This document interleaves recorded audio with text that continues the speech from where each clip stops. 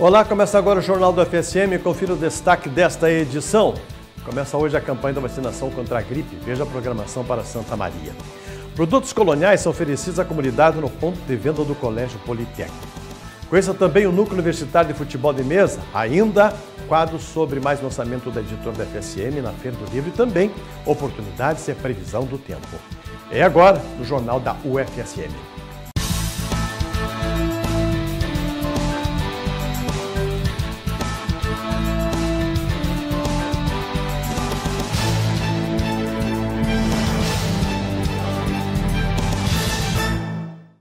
O INEP, Instituto Nacional de Estudos e Pesquisas Educacionais, convida os interessados em compor o cadastro de elaboradores e revisores de itens da educação superior do Banco Nacional de Itens. Esse processo refere-se à realização do ENAD 2014, o Exame Nacional de Desempenho dos Estudantes. As inscrições de docentes deverão ser efetuadas exclusivamente no endereço eletrônico que aparece na tela até 9 de maio. Poderão ser cadastrados professores de instituições de educação superior em exercício docente no curso de graduação da área escolhida. Dúvidas podem ser esclarecidas pelo e-mail que você vê agora no vídeo. Na entrevista de hoje, o repórter Felipe Laude conversou com um apaixonado por futebol do botão. A paixão é tanta que ele criou aqui no UFSM o Núcleo Universitário de Futebol de Mesa. Vamos conferir? Bom dia, Jair. O futebol de mesa, mais conhecido como futebol de botão, é um esporte praticado no Brasil inteiro com várias regras diferentes. Aqui na UFSM, desde 2007, o NUFUME, o Núcleo Universitário de Futebol de Mesa, propaga, enfim, realiza vários torneios aqui para todos os alunos e também professores e técnicos administrativos da universidade. O Otacílio é um praticante do futebol de mesa desde criança, é diretor do Nufume e também é funcionário aqui da Faculdade de Comunicação Social da UFSM. Otacílio, como é que começou essa paixão pelo futebol de mesa?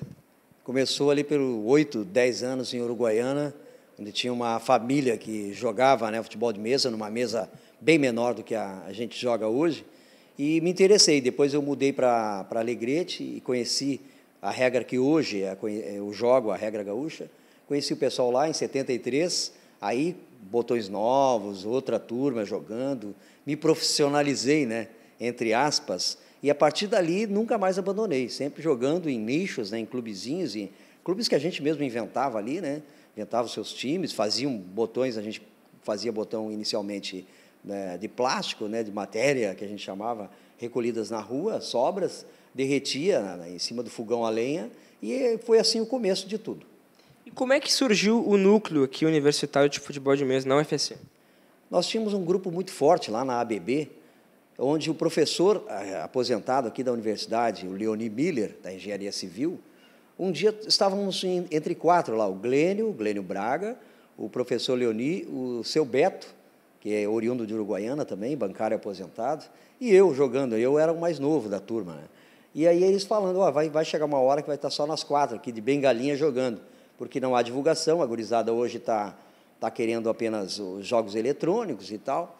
E aquilo ali me deu um estalo. Poxa vida, eu moro dentro da universidade, trabalho lá, por que não começar um, um grupo? Né? E eu comecei um trabalho de formiguinha aqui na universidade, inicialmente na comunicação, depois eu passei a fazer ali na, na, no, na, no RU, né, no hall do, do RU ali, eventos, eh, com poucas mesas, duas mesas que eu tinha, complementada com duas aqui do DA, que eram quadros negros, né, que iam fora. A gente cortou e fez mesa de botão e começamos por ali. E aí chamou a atenção de outras, outras pessoas. O professor Sérgio Pribe, aqui da, da, da universidade, também se interessou, voltou a jogar depois de muito tempo, com o time da União Soviética, né, claro.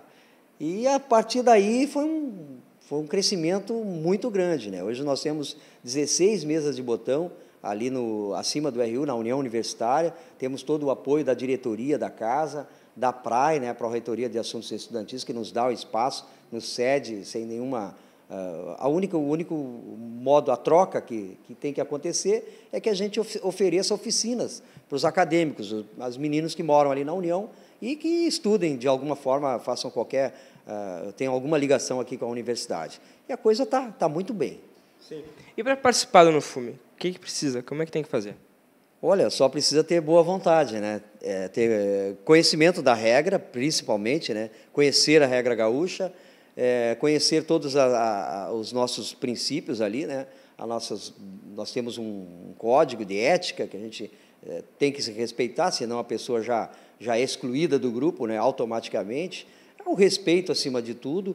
A gente ensina a regra, se quiser aprender, a gente ensina. Nós temos botões à disposição, né, times de sobra sempre para ensinar, ou até para vender para eles, porque a gente pega em Porto Alegre, traz, deixa sempre dois, três times né, é, de sobreaviso ali para o pessoal que queira começar. É, não tem problema nenhum, gostando ou não, sendo mulher, homem, a gente aceita qualquer um para continuar essa, é, esse movimento muito bacana que tem aqui na universidade. Está aberto para todo mundo participar e os treinos acontecem onde e que horário? Acontece ali acima do RU, na União Universitária, terças e quintas a partir das 7 horas e aos sábados à tarde a partir das 2 horas. E, eventualmente, uma vez ao mês, nós fizemos um torneio né, para averiguar né, como é que a gente está e, e para promover também. É bom para promover, para chamar a atenção de outros que ainda não, porventura, não venham conhecer, tomem conhecimento e, e, e, se cheguem com a gente ali para jogar. Nós temos três séries, a série ouro, série prata e série bronze, e ainda a série calouros, para aqueles que estão bem começando mesmo, e é um incentivo né, para todo mundo. Tá certo. O Nufume é, tem um site que recém foi feito, né, mais informações, então você pode obter nesse site. É isso aí então, Otacílio. Muito obrigado pela entrevista. Muito obrigado a você, um abraço a todos e estou esperando lá na União Universitária. Voltamos ao estúdio. Jair Alain. O NUFUME, Núcleo Universitário de Futebol de Mesa, está localizado na União Universitária do campus de Camobi. Quem quiser praticar futebol do botão pode passar lá. O núcleo conta hoje com 16 mesas para treinos e torneios e tem o apoio da Praia, a Pró-Reitoria de Assuntos Estudantis da UFSM. Acontece amanhã no andar de posse do CCS, o Centro de Ciências da Saúde da UFSM. O reitor Paulo Afonso Bruno dará posse aos professores José Edson Paz da Silva, no cargo de diretor, e Renato Borges Fagundes, no cargo de vice-diretor. A solenidade ocorre às 12h30 da tarde no auditório do CCS, localizado no prédio 26. Vamos ao rápido intervalo e voltamos com notícias sobre a campanha de vacinação contra a gripe que inicia hoje. Até mais. Olá, voltamos com o Jornal da UFSM.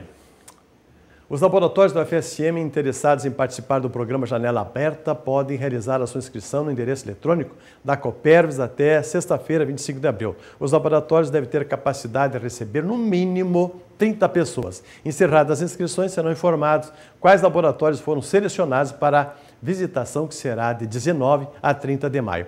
O programa Janela Aberta tem como objetivos ampliar os conhecimentos adquiridos pelos alunos em sala de aula e possibilitar maior interação entre a UFSM e as escolas registradas junto à Coperves. É, e a campanha de vacinação contra a gripe começa hoje, 22 de abril. Ela tem como tema vacinação contra a gripe. Você não pode faltar. Mais informações com a repórter Jocely Lima. A campanha de vacinação contra a gripe começa hoje, dia 22 de abril, e vai até o dia 9 de maio. Segundo o Portal da Saúde, serão distribuídas 53,5 milhões de doses da vacina, que previne H1N1, H3N2 e a influenza B. É para prevenir uh, o número de internações, o número de mortalidade, as complicações que seria a doença da gripe que daria na pessoa. Com a chegada do frio, a vacinação contra a gripe se torna muito importante para toda a população. Acho importante, sim, porque vai estar prevenindo, né, muitas doenças, né, para as pessoas, para os idosos, para as crianças, né. Eu acho importante que a população colaborasse, né, de fazer essa vacinação. Eu acho que é importante para todo mundo, né, o pessoal tem que se prevenir e eu acho que o, a campanha, o governo está tá fazendo uma coisa que, que deve ser bem a todos, né? Invita a espalhar muito esse vídeo da, da gripe aí, né? Ajuda, principalmente na parte de depois de estar doente, a, a despesa é muito maior, né? E assim já está prevenindo a pessoa, né? Mesmo que os frios tá chegando aí, né? Isso aí ajuda muito. O público-alvo são crianças de 6 meses a 5 anos, pessoas com 60 anos ou mais, trabalhadores da área da saúde, povos indígenas, gestantes, puérperas até 45 dias após o parto, população privada de liberdade, funcionários do sistema prisional e pessoas com doenças crônicas não transmissíveis. O setor de vacinação do Hospital Universitário estará com horário especial das 8 às 20 horas nos dias 22 a 25 de abril Nos demais dias de vacinação, o horário é das 7h30 às 14 horas. Vamos agora à previsão do tempo para hoje e amanhã?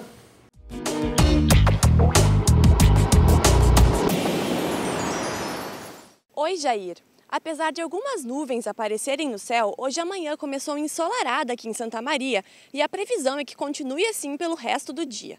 A temperatura aqui no campus nesse momento está em torno dos 17 graus e a previsão é que as temperaturas caiam em toda a região sul.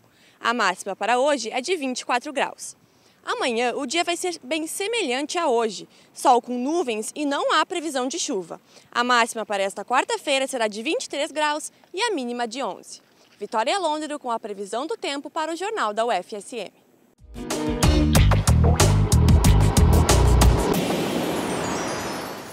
Obrigado, voltamos logo com o Jornal da UFSM. Olá, o Jornal da UFSM está de volta. E o nosso jornal apresenta os lançamentos da editora da universidade na Feira do Livro que se aproxima. Confira agora mais uma obra que o público do evento poderá conferir. Roda aí!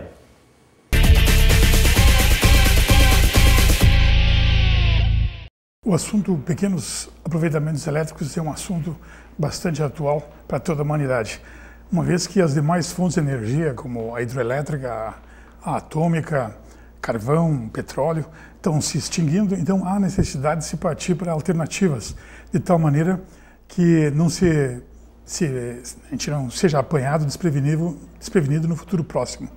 Então nós elaboramos uma série de material dentro do nosso livro Pequenos Aproveitamentos Elétricos, de tal maneira que se possa difundir não só entre os engenheiros eletricistas ou as pessoas muito dedicadas ao assunto, mas sim a outros é, profissionais como ecologistas, engenheiros agrônomos, engenheiro civil, mecânicos e, e inclusive nível secundário, porque o linguajar desse nosso livro tentando levar essas pessoas que são as mais interessadas no assunto energia, tanto para a construção do edifício, para a geração de energia elétrica, como utilização na própria residência de cada um, todos eles vão encontrar alguma coisa em que esse livro poderá ajudar. Mas o que eu queria deixar claro aqui nesse lançamento é a divisão das energias em três partes. Uma delas é aquela energia que vem do céu, eu diria do sol, talvez, que é a hidroelétrica, através da evaporação, formação de nuvens e lagoas, Daí então a eólica, pela diferença de temperatura entre pontos do planeta, que gera o vento. É, a fotovoltaica, que é a transformação direta da luz do solar em energia elétrica, o aquecimento. Então esse é um tipo bem-vindo de eletricidade. Daí tem um segundo tipo, que é aquele que vem da Terra, não do céu, mas da Terra. Essa energia que vem da Terra seria a sujeira da Terra, que é urânio, petróleo, carvão, inclusive a plantação de, de, de vegetais para se tirar energia elétrica. Isso não é uma energia bem-vinda. Ela pode resolver um problema é, intermediário, mas a longo prazo ela será um problema. Porque tu tirando, tu plantando energia, aliás, plantando uma árvore para te retirar energia dela, daí então transporta ela para outros lugares do mundo. Daí tu volta no mesmo lugar, planta a mesma árvore de novo e assim tu vai exaurindo o terreno de todos os seus nutrientes a um ponto tal que aquele ponto do planeta fica inútil para a plantação de vegetais. Então, é, esse tipo de energia eu não acredito que seja bem-vindo. Depois tem um tipo de energia que eu chamo de ambígua, que seria a célula combustível, que é uma mistura de hidrogênio e oxigênio para gerar energia elétrica. Só que, infelizmente, acho que está caindo nas mãos erradas esse tipo de energia, que seria limpa, que é água praticamente.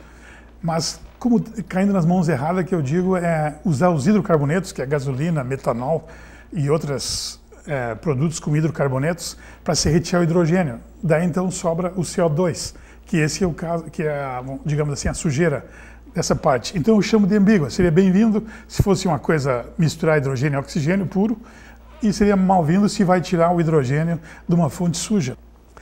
Então, tudo isso está mais ou menos discutido dentro do nosso livro, tentando, de uma maneira fácil, cativar ou trazer mais gente para esse assunto, né, é, mostrando as preocupações que a gente tem ao gerar energia e colocar o meio ambiente em risco, porque toda forma de energia, de alguma forma, ela altera o meio ambiente. Então, eu recomendaria esse nosso livro como uma maneira de tu visualizar todos esses assuntos de uma maneira fácil, que tu possa discutir, argumentar, citar como referência e dizer que tu conhece alguma coisa relacionada com o meio ambiente e as fontes alternativas e renováveis de energia.